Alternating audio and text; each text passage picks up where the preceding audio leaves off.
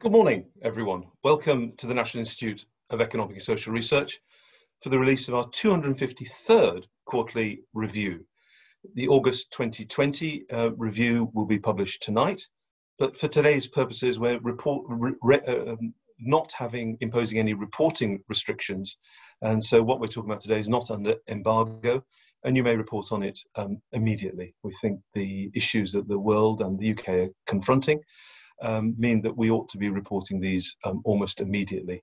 Um, I'm very glad this morning to be joined not only by the staff at NIESR who've helped us put this uh, work together uh, remotely uh, and coordinated that work over the last month or so remarkably efficiently, if I may say, to them. But I'm glad this morning to be joined by Barry Naisbitt, who has coordinated the work with the team on our prospects for the global economy, and also by um, my deputy director, Garry Young, who will um, who has coordinated the work on the UK economy and will talk to the prospects for that economy. We plan to finish with a, uh, about 20 minutes or so to the hour, leaving plenty of time for questions, which will be fielded in the first instance by my colleague Rachel Tukey. And we'll try to answer the questions by around midday. But if there are some questions we haven't had time to, turn to, uh, to turn to, we'll be happy to deal with them um, afterwards uh, bilaterally with people. Thank you very much. Um, before I um, um, launch into the main detail of the forecast, as you know, it is custom for me to release a director's remarks. You have them in your pack, and they outline some of the broader issues I think that we're facing, and also point to the work more generally we've been doing uh, at the institute. And, and so I think there are two things we want to start with when we think of the COVID quandary, as I'm calling it. And the question in the first instance is, what is it our objective of public policy at the moment? Underpinning a lot of it is to create confidence in the capability of the health sectors around the world that will ultimately help smooth the spread of the virus and limit the extent to which there's a further peak. And that has two economic implications. Firstly, the lockdowns themselves have been an economic instrument designed to smooth the spread of the virus around the world. And as a consequence, there's been a, a huge impact on economies with the kind of um, retrograde movements in growth that none of us have experienced in our lifetimes. But subsequently, as well, as we learn to live with the virus, there will be ongoing changes in the way that we do things that will be in place for quite some time. This will mean some reorientation of our resources, some retraining, uh, and, and all of this we think will take some time and will impact on the economy in a, in a semi permanent way. The word that's often used is scarring. And I know both um, of Gar- Barry and Garry will refer to these issues um, when they come to their sections. Clearly, um, what we're seeing is both a negative demand and supply shock. Uh, these are uh, amplified by the fact they're happening across the world in a global world. Um, the UK economy is, is vulnerable and exposed to changes in demand from the rest of the world. And, and as ever, these shocks are exposing existing weak economic structures. There's early evidence to suggest that economies that had vulnerabilities in healthcare or uh, other forms of vulnerabilities and lack of economic infrastructures or limited fiscal capacities have suffered more than other economies. So, as well as a shock, uh, this crisis is, is, is revealing and exposing weak economic structures. We expect as, as, as over the next year or so that both public and private debt will increase. The long, long-lived secular downturn in policy rates will be sustained. Um, and even though there has been remarkably fast policy reaction, the uncertainty about future waves, long-term health consequences, and I think in many places a lack of confidence in public health overall, uh, will act to um, um, limit the recovery on demand side, both from households' consumption and from firm level investment. Um, there seems to be evidence of more resilience uh, in places that there are higher levels of skills and where the digital economy has been well developed. Um, and maybe these can be formulated in a way to meet the regional imbalances in the UK and elsewhere that we're seeing in the world. But this is all going to require consistent long term policies that are independent of um, changes in political hue that we see regularly in the UK. Consistency and long term policies are what we're going to need. I think we're also concerned about firm level dynamism in the presence of the COVID and Brexit challenge. And it's also becoming clear that this particular crisis is interacting with poverty and inequality, and in many cases making it worse than it would otherwise have been. And so the COVID quandary is for fiscal and monetary policy to do whatever it can and yet still maintain the credibility of the monetary and financial settlement, if only because we don't know when this will come back and how badly it will come back, and we will need those tools to be deployed again. If I now may um, turn to Barry, who will go through some of these issues and others uh, in more detail on the basis of the prospects of the world economy that have been prepared, as you can see, with, with a team that have been hard at work over the last month or so. Thank you, Barry. Thank you, Jagjit, and good morning, everyone. And um, I'm Barry Naisbitt, um, and I my task today really is to run through our um, outlook for the global economy. And our, our, global economy forecast is not a, a, work produced by a single person, it's work produced by a team. And um, just to acknowledge the work of the team in producing this in uh, as Jagjit said, in remote circumstances um, and in with COVID at the front, very difficult economic times. So let me just turn first to the short-term outlook headlines that we have. Um, I think it's important to start off by noting that since we put together our May forecast, which was back in the middle of April, the global number of COVID 19 cases has increased sixfold. Um, and with that in mind, the economic outlook remains uncertain, um, particularly as countries are at different stages of what I think is best called a still spreading pandemic. In terms of our short term outlook, our, our main case forecast scenario is for a fall in global GDP of 5% this year, which is slightly um, worse than we had in May, where we had minus 3.5%. But um, given our assumptions about um, lockdowns um, gradually easing and our assumption that we don't have a second uh, wave of the virus um, in the winter time, in our winter time, I should say, then we expect uh, an increase or project an increase of six and a quarter percent next year as activity rebounds. That said, as you can see from our assumptions that I briefly mentioned, the risks to our main case are on the downside. Um, the lockdowns in advanced economies have been at their most stringent in the second quarter of this year, where economies have faced a demand shock, hitting consumer spending and business investment, a supply shock, particularly with people not working for, in many cases, about three months or longer, and a confidence or and an uncertainty shock which uh, we saw particularly in financial markets back in March, but which is still going on, certainly in terms of confidence about things like uh, shopping, for example. And um, the shocks that we've seen have been countered by policy stimulus, and where our estimate is that the fiscal stimulus that's been injected into the economies has reduced or acted to reduce the overall global GDP loss by about a third. In terms of other, the other key economic magnitude, inflation, I guess, um, we're expecting that to remain low in the short term, with OECD inflation projected about 1.5% this year, slightly higher next. And in the medium term, we see risks on inflation of both inflation being quite a bit higher and also inflation staying quite a bit lower. Let me start by the sort of run through by looking at what I call the damage done. Um, first point to make is that the output growth that we had expected before COVID 19 hit for 2020 and 2021 has been lost.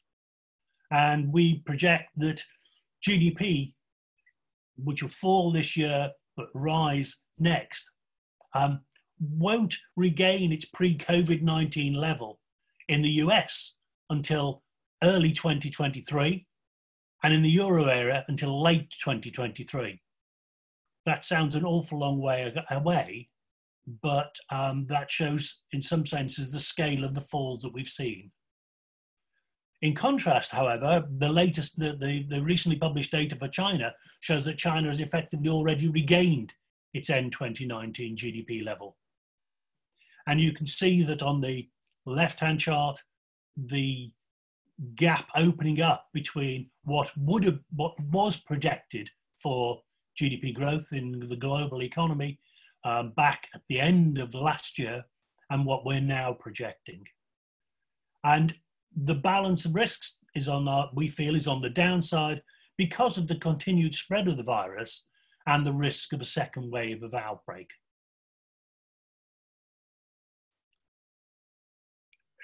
As economists, I think it's natural to talk in terms of GDP, in terms of thinking about damage, but I, I just like to rewind a little bit and say uh, that's possibly, you know, just a feature that we look at GDP. We have to remember that when we were putting the presentation together and the forecast together, nearly 600,000 people had died from COVID 19 worldwide, with almost 14 million confirmed cases. These figures are still rising, and we don't yet have a vaccine. In terms of damage, that seems to be a very important way of thinking about it. But not only damage in that sense, but unemployment has risen. And the left hand chart shows the rise in unemployment that we've seen, particularly in the US. And there are concerns that when job support schemes end in various countries, there'll be a further increase in joblessness. In terms of where GDP has fallen, the right hand side chart shows quarterly changes in GDP for a range of economies. And um, the, the key point we would draw from this is the different pattern across economies. So we're seeing obviously a, a, sharp fall in China in the first quarter, but then a bit of a rebound in the second quarter from that. We're seeing probably the euro area, the advanced economies, the US, the, the greatest damage effects being in the second quarter of this year. But if one looks at Brazil, where clearly the virus is spreading at the moment, um, the damage is both in the second and third quarters of the year. Looking more broadly, the advanced economies, industrial production has fallen sharply, as has world trade. And I, one of the things I wanted to point out was to look at the G7, where the chart on the slide shows the level of GDP um, for the US, which is the top line, the solid black line, and the G7 excluding the US. And in terms of our projection, we're expecting um, US GDP to fall back to around its 2017 level this year. But non US G7 GDP is set to fall back to its 2013 level this year before rebounding next.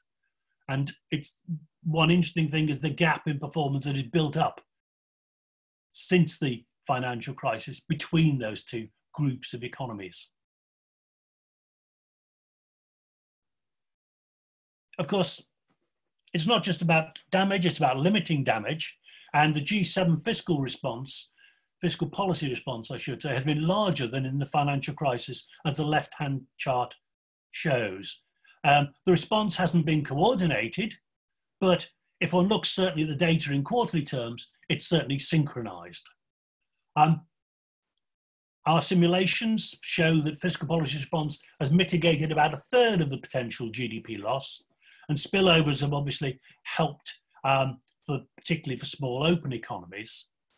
And the right hand side panel chart just shows that um, the level of GDP loss relative to what one would have thought GDP would have been in 2021. And one can see that the countries that have had the larger fiscal stimulus are, in, in our projections at least, seeing the projected smaller GDP losses relative to what might have been expected.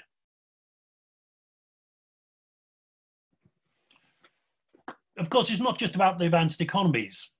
And so I just want to spend a couple of slides looking at beyond the advanced economies.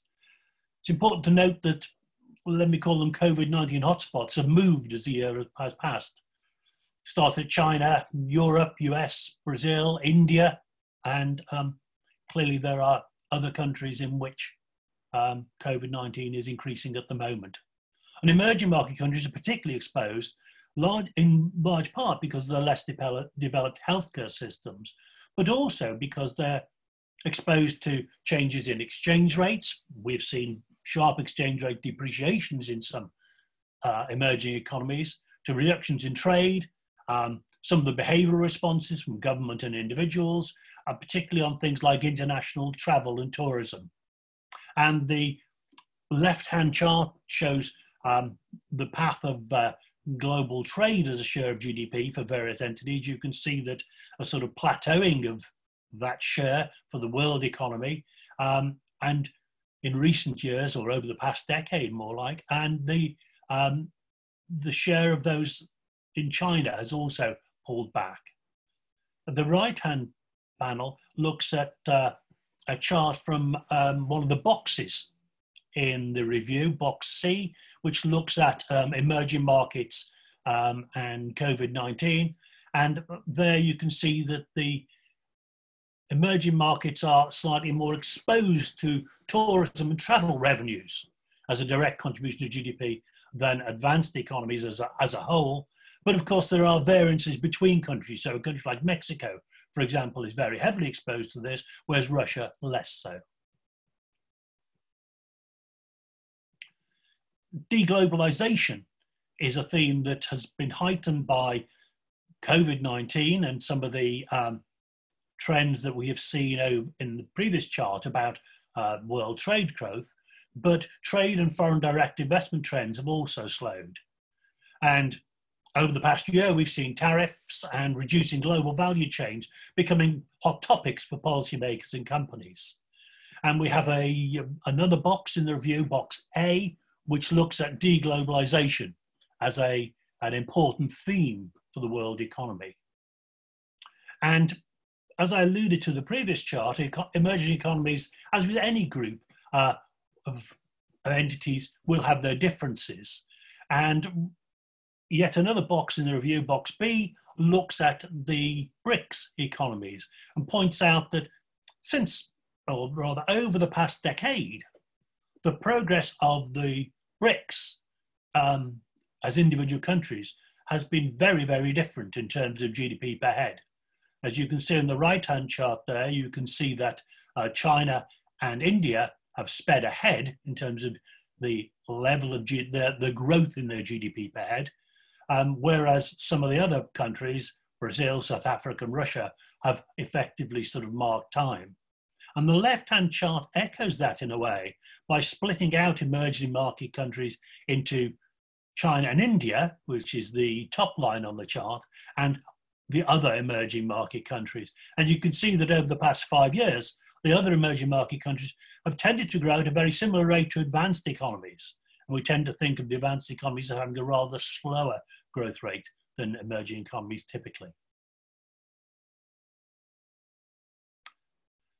In terms of um, the next big theme, I guessed it's probably about unlocking and the title unlocking all question mark over the world question mark um, i think denotes the uncertainty about all this.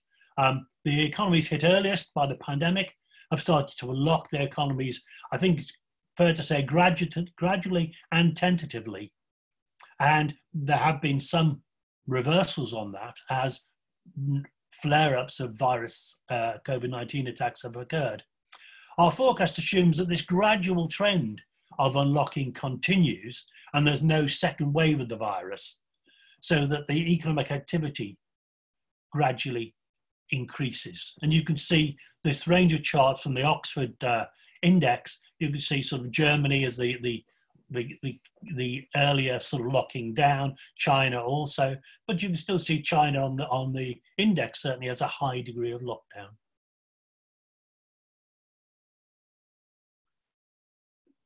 Jagjit in his introductory remarks and slide talked about um, economies, if you like, emerging from a pan pandemic, and certainly emerging from the pandemic with higher levels of debt, particularly in the government sector, as this chart shows. And not only are uh, economies having highest public sector debt, but policy interest rates have been reduced back to or below um, as a table in the review shows, the emergency low levels seen in the financial crisis. And those with memories of emerging from that financial crisis will remember the phrase low for longer, which I think is probably back as a phrase about interest rates. And I talked about us facing an uncertain future.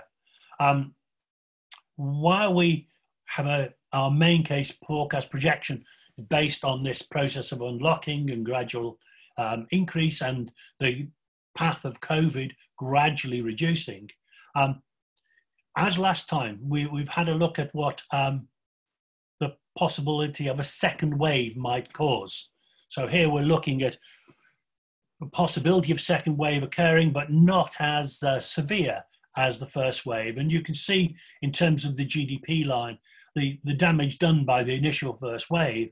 And then one gets the second wave estimate of the second wave impact coming in. And the recovery there looks more like a, a W, if you like, in GDP than um, something other than that. And clearly, there's a great deal of uncertainty about how likely a second wave is and how severe it would be, and also how governments might be able to respond to it were it to occur.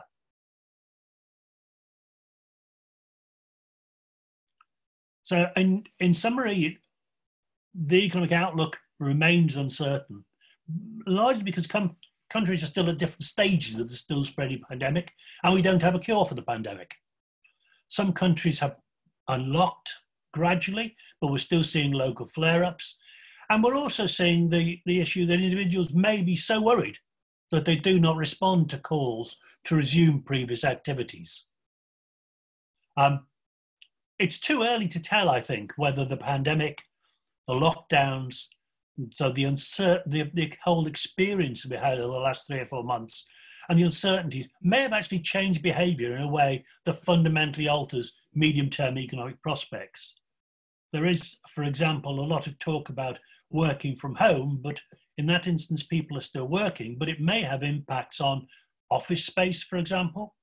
And looking more broadly, there may be issues about lower cross border flows of goods, services, people, and capital as uh, individuals and companies and governments react to a, new situation. And we've seen substantial fiscal and monetary support, and so medium term inflation risks have also increased on both the upside and we feel the downside. The policy premium, I think, is on global healthcare co- coordination to beat the virus and restore confidence in mobility and trade not just for the ability to go on a holiday this summer, but the ability to be more willing to travel um, in the years to come. Finally, two slides, just firstly to remind uh, the short-term outlook headlines, and then next, just our forecast summary table, which is in the review itself for you all to see. Thank you ever so much for listening. And I'd like now to hand over to my colleague Garry Young to talk about the prospects for the UK economy. Thank you. Thank you very much, Barry. And I'm going to talk about prospects for UK economy. This is work that I did with um, Cyrille, Lionel L, and Rory Macqueen. So in terms of the headlines for our UK um, forecast, the economic outlook is, of course, extremely uncertain and depends critically on the policies to keep down the COVID 19 infection rate. In our main case scenario, GDP falls by 10% in 2020 and rises by 6% in 2021, which represents a slight downward revision from our previous forecast, due largely to the global downgrade of, the, of their forecast.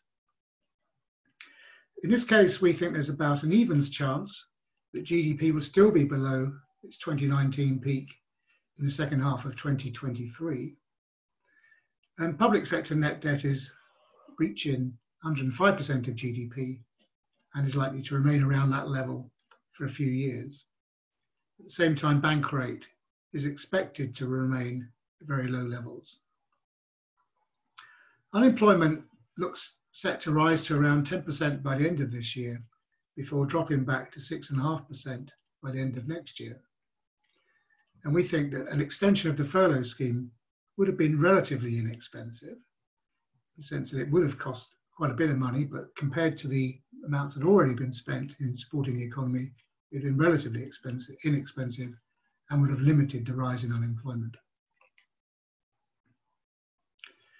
Now, looking back over the past three months, it's probably fair to say that the worst case scenarios that you might have imagined three months ago have been avoided.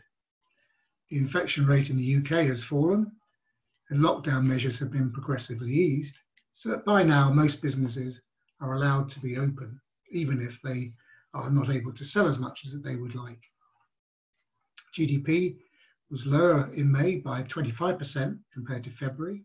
There were some estimates um, three months ago that thought it might be a much bigger effect on GDP, although these estimates are still very uncertain themselves. And total weekly hours in the March to May period were down 17% on a year earlier, and that would be consistent with a fall of about 25% in the second quarter as a whole. So the amount of labour input required is falling in line with the amount of GD, in the GDP fall. Unemployment rose to um, the unemployment rate rose to 4.1% in May, which is obviously still very low. But we know that from the um, some of the faster indicators that there were 760,000 fewer paid employees in June and February. And we know that the claimant count has risen to 2.6 million in June from 1.2 million in February. So it's probably fair to say that the reason the unemployment rate hasn't risen further is a lot of those people who are un unable to work and not, don't consider themselves able to search for work in the current circumstances, or at least in the circumstances in May. The coronavirus job retention scheme, which had three months ago had been due to end in June, was extended until the end of October, and the conditions changed, but it will now, it has been confirmed that it will close at the end of October. Another change is that financial markets are no longer stressed, so that's been a positive change over the past three months. But the economy is now entering a new phase where activity is weak due to the avoidance of social consumption largely, just as government support measures are being withdrawn. So it's quite a risky situation we're moving into now.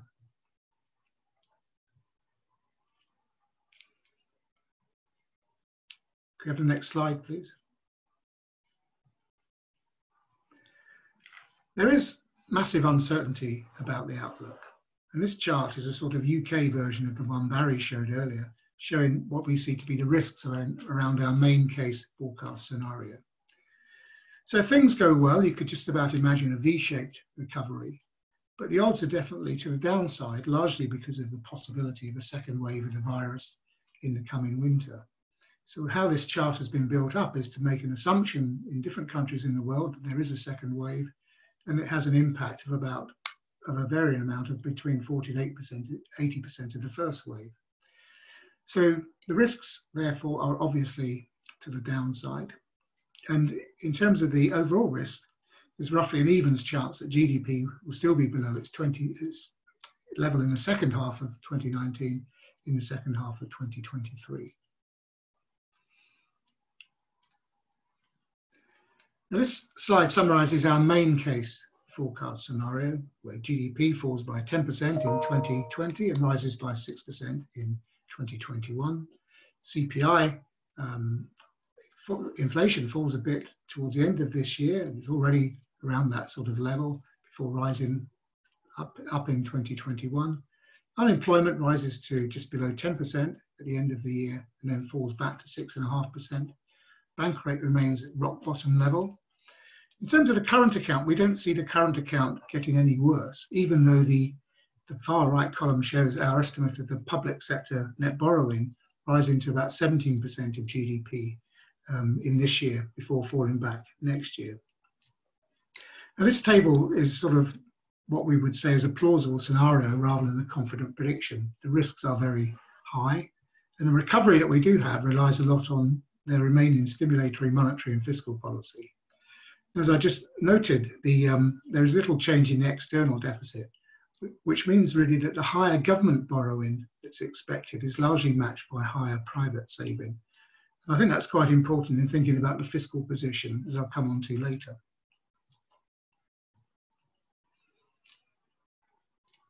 In terms of um, the main case scenario, we don't see a return to the pre-COVID path over the next few years, although as the earlier chart showed, that is a possibility, but it's not, in our view, very likely. So in this, in our main case scenario, GDP is 6% below its pre-COVID path in 2024.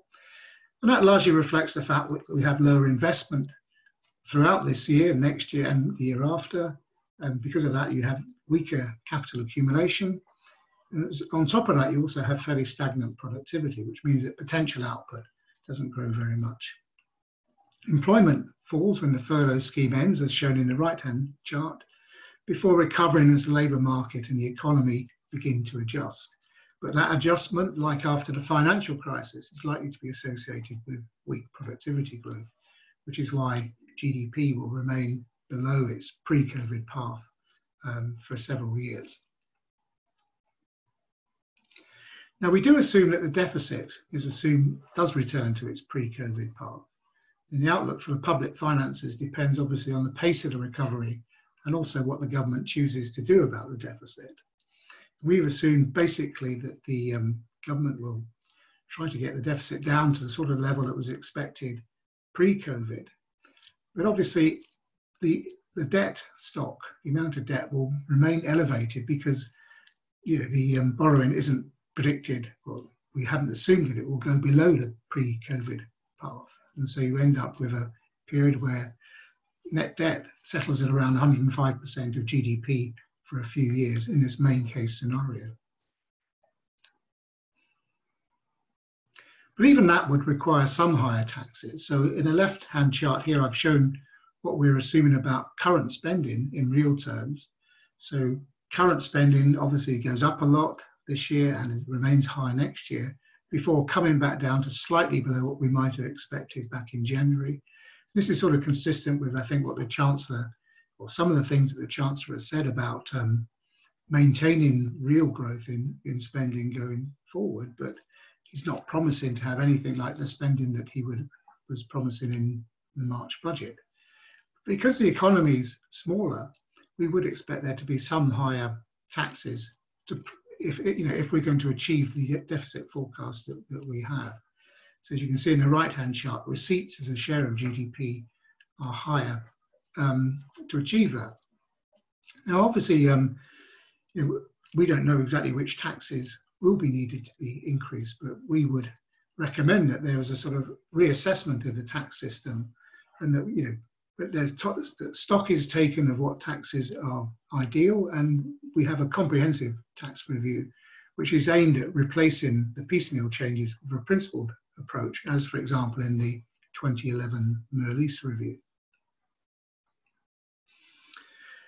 In terms of the fiscal deterioration, we think there's no need to panic about that. Interest rates are likely to remain low in the near term, although we can't guarantee that interest rates in the UK are largely de determined by what happens to interest rates in the rest of the world. And obviously that's outside of the control of domestic policymakers. But as I pointed out earlier, the higher borrowing that we're, ex we're expecting this year and next year is largely being financed by, not directly, but financed indirectly by higher household savings. So as you can see in this chart, um, household savings as a share of GDP, or household um, financial balance as a share of GDP rises, and that's sufficient to pay for the higher government borrowing without a need for the current account to get worse. So largely the borrowing is being done effectively by borrowing from British citizens rather than from borrowing abroad, and that gives you a different perspective on the um, extent of the fiscal deterioration in the sense that the overall balance sheet um, hasn't been damaged by the crisis, government balance sheet has, but the private sector balance sheet is better. And so there is room there to raise higher taxes. In terms of the um, unemployment, the um, furlough scheme has prevented a significant rise in unemployment. As we know, around nine and a half million jobs have been furloughed at one time or another, but we don't know exactly how many um, jobs or how many people are on furlough at the moment. This chart is from the ONS surveys, which suggests that um, around 18% of employers in the responding businesses were on furlough leave in the first half of July, and that's down from a peak of 32% um, a month or two ago. And that's likely to fall further, further um, as the economy picks up and as the business contribution to the pay of furloughed workers rises. So we're expected, we would, would expect to see the number on the furlough scheme decline gradually to the, to the end of October when, it, when the scheme is ended. Now, that is part of the reason why unemployment is set to rise um, quite sharply towards the end of the year. So in our forecast, we were expecting the unemployment rate to rise this quarter. Um, obviously, as I mentioned earlier, there were there were quite a few people who, or there's quite a lot fewer people in work than there were um, back in the beginning of the year. Also, new people joining the labour market all the time. So, you know, there'll be unemployed. Some of those will be unemployed, and so we expect to see the unemployment rate rising to six percent, and then to around 10% at the end of the year when the furlough scheme ends and a number of people flow off the furlough scheme into unemployment. They won't all flow off into unemployment, some will go back to work. But this leads to unemployment being close to 10% around the end of the year, and that would be the highest since 1992-93. Now we think there's a case, there's a relative, there's a good case for keeping the coronavirus job retention scheme open I mean, the Chancellor, when he launched it, said it was a bridge to the post COVID world, to the post crisis world. I think there's a risk that he's sort of not letting that bridge go as far as is needed. Um, you know, we would have said it would better to have kept the furlough scheme open until the middle of next year. And in, so we've constructed a scenario to try and work out what that would look like. In the scenario, 1.2 million stay on the scheme at the end of 2020 rather than becoming unemployed. And through next year, there are another there are 700,000 who remain on the scheme in this in this um, scenario. Now, the gross cost of that would be something like up to about two thousand pounds per job per month. Um, but but you know that would be um, you know in in October the amount that um, the government is paying to support wages is actually less than that. Um, and and that the net amount would be would be even smaller because those people on the scheme are paying taxes and they wouldn't be paid benefits. So if you take these sorts of numbers, and that would suggest overall cost of about 10 billion pounds of keeping that number of people on the scheme to the middle of the next year, which, as I say, is a relatively small amount compared to some of the amounts of money that have been spent in um, supporting the economy this year. And now, if you keep people in work in that way, that would have a benefit in terms of reduced scarring, in the sense that those people would eventually return to their jobs. They wouldn't become, you know, the possibility of them becoming long-term unemployed wouldn't happen. And also they would keep some of the skills, the firm-specific skills that they've learned in the jobs before. And so we would reckon that that would add a bit to GDP and that would generate tax revenue and you know, it would probably come close to paying for itself um, over time. In terms of inflation and monetary policy, again, there are lots of risks around inflation, and this fan chart um, sort of tries to show, illustrate what they are. then the risks are to the upside and to the downside. You know, to the downside is a risk that um, you know, there's a big, big um, capacity gap, and that um, this will push down on wages and prices. And, this, and given that monetary policy is already fully stretched, um, you could imagine that prices would fall. That would be one scenario.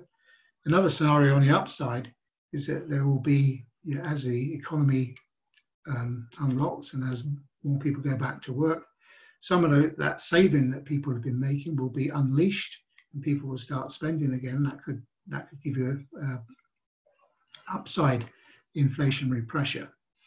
Um, but that would rely on, you know, for that actually to come through into higher inflation would, would need monetary policy makers to accept um, above target inflation. And they will only really do that when unemployment was high. So anyway, there are these two risks in either direction. And there's a box on page F21 to 23, which summarizes those risks. So these are the headlines. The outlook is up, is extremely uncertain. I've taken you through one scenario, but the risks are there are risks in both directions. Um, and um, I think given those risks, it would have been better to have kept the furlough scheme open so that it did indeed provide a bridge to the other side of the crisis. Thank you. Thank you very much, um, Garry, for that overview.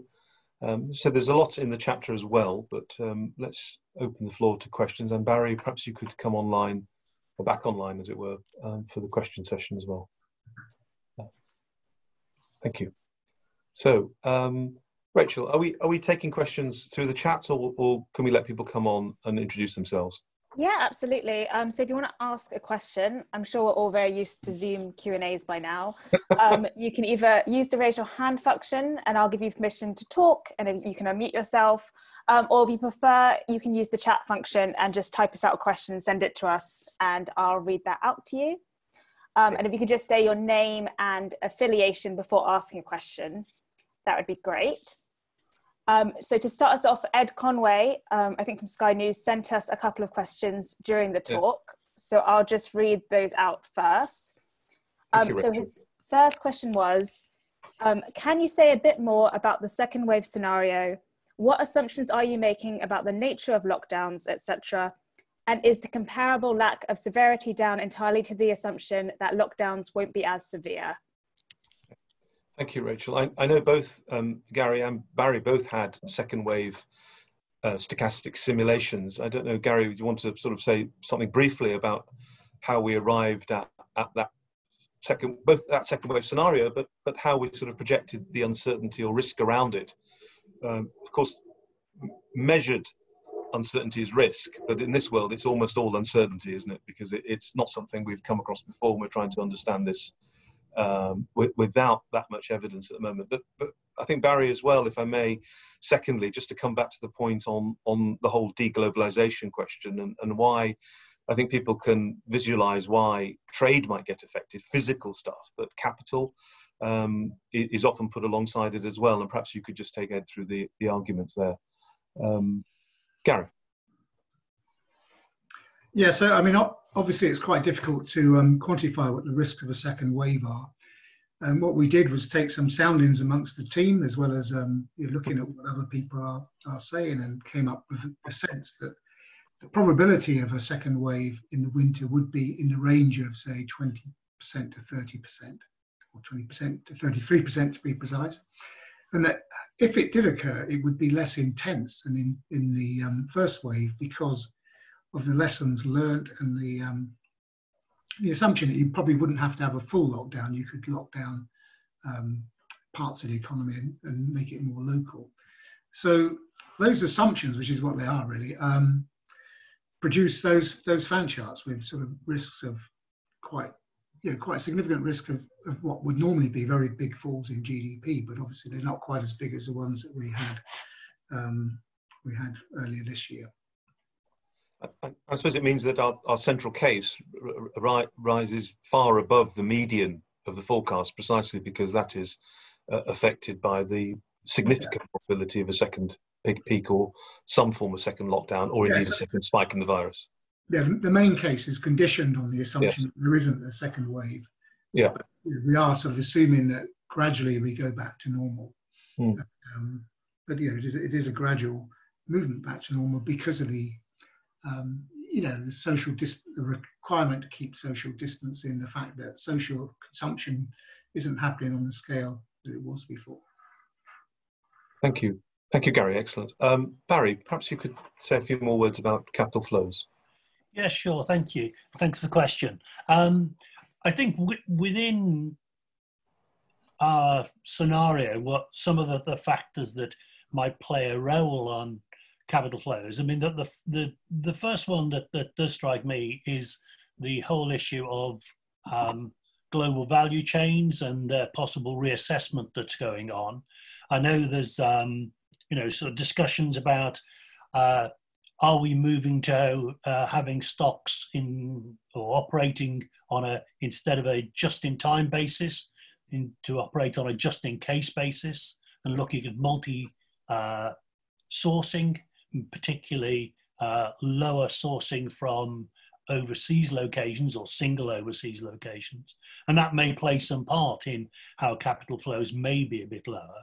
The second issue is obviously, I think, about risk issues. I mean, while um, our forecast, as Garry was saying, is conditioned on a set of assumptions, um, we clearly have no great special insights into the, the epidemiology itself. And certainly one can find people, uh, respected people, who would argue that there are risks of not just a second wave, but of other viruses in the future. And should they come about, some of the risks that we will have already seen would start to play into how people and companies and individuals might think about uh, having capital in other parts of the world and how they might move it around.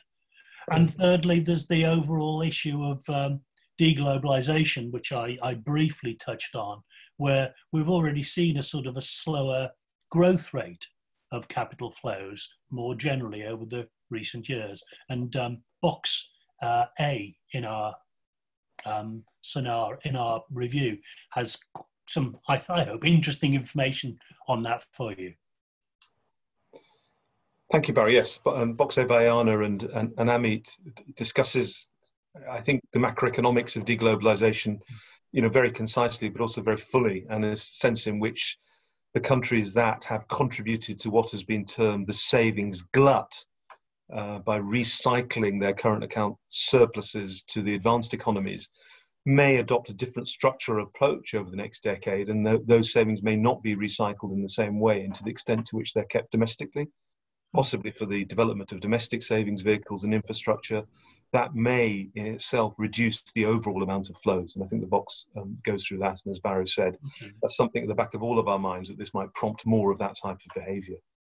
Um, Garry, um, we, I, I, I, noticed a couple of questions coming in on the on the furlough extension. Um, one from uh, uh, David uh, Goodman at Bloomberg on the, the, the, costs of the furlough plan. I know you've done some work on its impact on productivity and employment, which um, you might want to just go through with David. And then there's a there's a supplementary uh, question from Richard Partington uh, at the Guardian um, just just uh, uh, about um, unemployment in more detail. So I wonder if you could pick up those two questions, Garry. Yes, um, thank you. I'll try and I'll try and take them together. So. Yes. There's, been a lot of information published about the furlough scheme, but a lot of it has been about how many people have used the scheme in, in its yes, it, since it's been around, rather than how many people are on the scheme at the moment. So I think there's probably somewhere in the region of five to six million on the scheme at the moment but that would be diminishing over the rest of the year as um, economy picks up and because of uh, the fact that employers now having to make a or progressively having to make a bigger contribution to the scheme um, they will um, possibly lay people lay people off or just or just take them back into work so our assumption is that um, you know there might be say you know there, there would be around um, around uh, just over a million, a million and a quarter people in the fourth quarter um, would have been on the furlough scheme had the furlough scheme remained open. But because of the closure of the scheme, they become unemployed, and so that contributes to the um, to the unemployment forecast we have of just under 10% at the end of the year. So roughly, um, you know, the labour force is just over was what's about 33 million so you know, a million is roughly about three percentage points of, of that. Um, so you know, on that basis, the cost of the scheme wouldn't be, and that and that that number would then be diminishing throughout next year as well. So the cost of the scheme wouldn't be too high. So if you said, well, for one job, it would cost you at most about two thousand pound a month, um, but then those people would be paying taxes and they wouldn't be paying benefits. So the net cost would be smaller than that. And if you add it all up, keep the scheme open for another eight months, it would cost you in the region of 10 billion on, on the basis of, of that case. Um, so I don't know if that's answered all of that yeah, so unemployment, if the furlough scheme is extended, we have a, we had a chart. There's a chart in the review on um, figure two, actually. I don't, and it was in the presentation as well, of a comparison of the unemployment rate with and without the scheme. Um,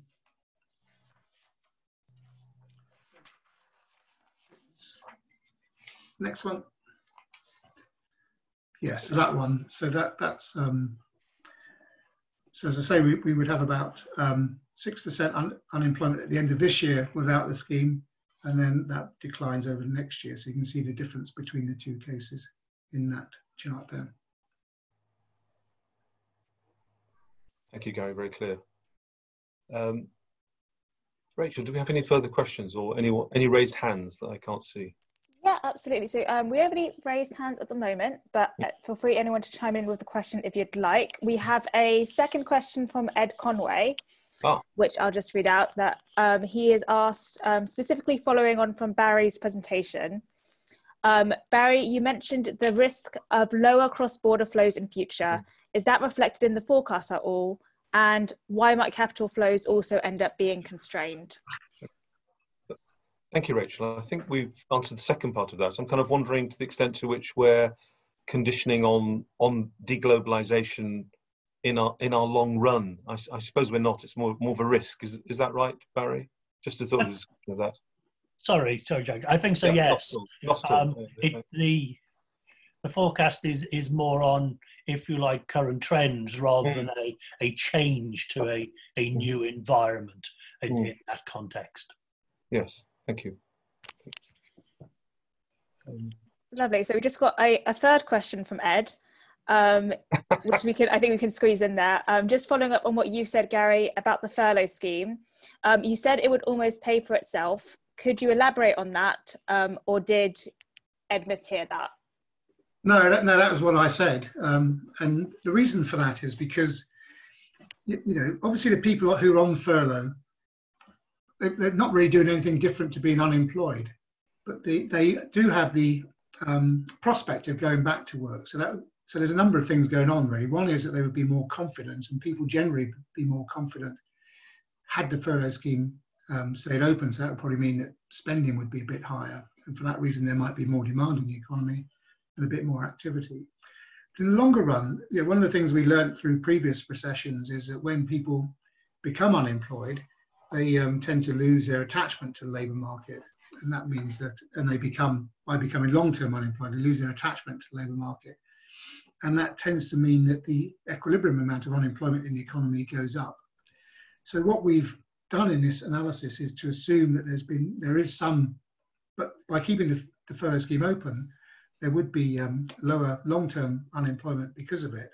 And also, there would be, wouldn't be so much lost, lost productivity because people who were trained in particular jobs would, you know, in the, in those jobs and in those for that specific um, places, would um, continue to have those skills. So we've made an assumption about there being extra productivity and less lower long-term unemployment, and that would add a bit to GDP in the longer term. Not a massive amount, but um, it would be a permanent GDP would be permanently higher because of the, by by not having these scarring effects and that then would generate higher tax revenue. And so in the long run, the um, extra tax revenue would be more or less enough to pay for the, the extra 10 billion of keeping the scheme open to the middle of next year. So that's what I meant. Um, it's obviously another uncertainty, but um, you can see the direction which it's going in. Thank you. Thank you, Garry. Well, I think we're coming towards uh, the end of the hour. I don't know if there's time for one final remark from either uh, Barry or Garry before we, we, we, wrap up. Barry, is there anything that you just want to bring out as a final message? I know you, we talked quite a lot about the need for coordinated um, international policy. Did you, did you have in mind debt relief or, or something at the level of the G20 or, um, or more, or, or is it, is it, it, it in the sense in which the interventions we've seen have happened at the same time because the virus uh, appeared at the same kind of time around the world. But but what what more might we want to see from international policymakers? Um, do you feel as as we head into a, a, recovery, but then at the back of our mind the concern that there may be further spikes and uh, uh, and economic repercussions from those as time goes on? Yes, I, I think one one observation I'd make mm. is that um, we have already seen the IMF um, actually provide some relief funding and mm. set up schemes to do so. Mm. And over 100 countries have applied to the IMF now to um, access funding. We've also seen the G20 agree um, to some moratorium on debt uh, interest payments, and we've seen the World Bank also come forward with um, proposals for debt relief.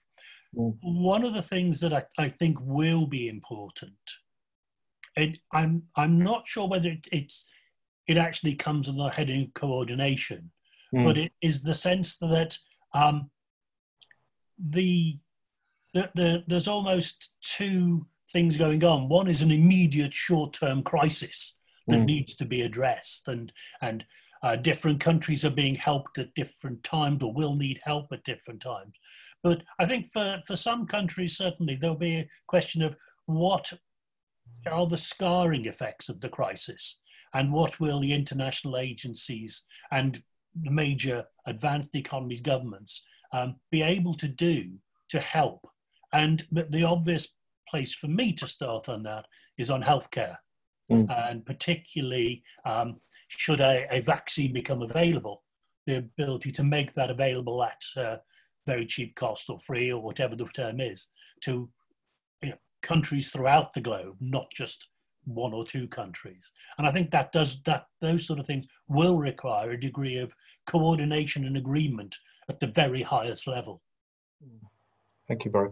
I wonder if, uh, Luca, we can just get the chart showing world GDP um, um, both prior to um, this, this uh, sort of with the trend um, as we anticipated from the time of the global financial crisis, the trend before COVID came along, and what we now think is going to be, yes, the left-hand side one. And, and I suppose, Barry, that is precisely the scarring issue that we have in mind. The, the, the world as a whole is going to have less output than we considered, which is making that debt problem for countries that, that don't have the fiscal space or the tax revenues uh, or the ability to raise taxes in the way that Garry was talking about problematic.